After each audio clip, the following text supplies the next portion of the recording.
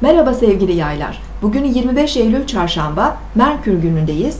Bugün tüm boş vakitlerinizi eşinize ayırmak isteyebilirsiniz. Kendisini memnun edecek, hoş sosyal aktivitelere katılabilir, lüks bir ortamda akşam yemeği yiyebilirsiniz.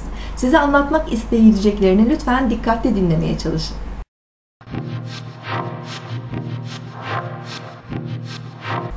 Burcunuzu dinlediniz. Bugün 25 Eylül Çarşamba, Merkür günündeyiz.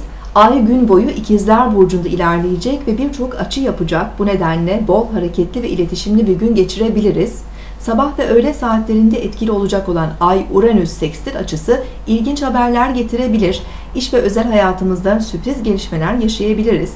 Günlük hareketlerin ve kısa seyahatlerin de yoğunlaştığı bir gün olacak.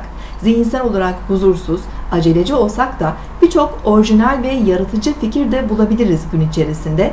Bugün Satürn kuzey düğümle kavuşum yapacak. Bu sorumluluklarımız ve uzun vadeli geleceğimizi ilgilendiren konularda daha ciddi tutumlar içerisinde olmamızı sağlayacaktır.